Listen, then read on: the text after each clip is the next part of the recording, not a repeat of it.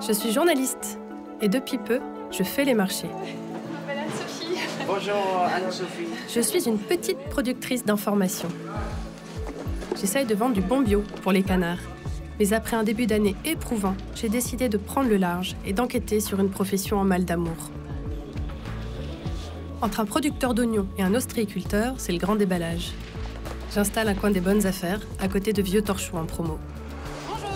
Certains pensent que je vends des salades, d'autres des feuilles de chou. La presse a du plomb dans l'aile, la défiance n'a jamais été aussi forte et les journalistes sont de plus en plus menacés ou traités de menteurs.